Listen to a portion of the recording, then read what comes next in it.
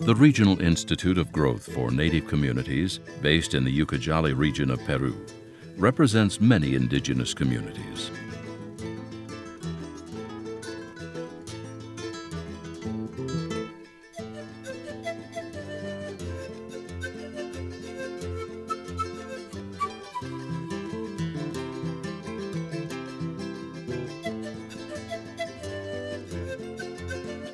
The Institute formally granted a letter of appreciation to the Amazon Herb Company for its many contributions, projects, and ongoing support to many of the native communities in the area.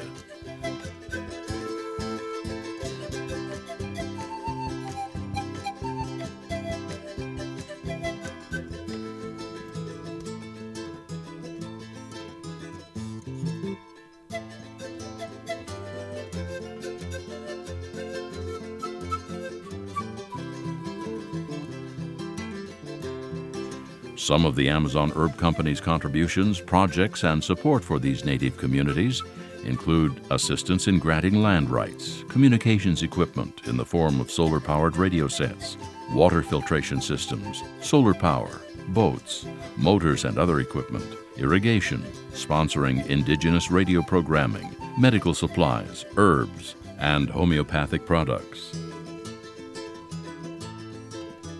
The Amazon Herb Company also supports the trade of handicrafts and artifacts made in the community, as well as the commercialization of their natural products.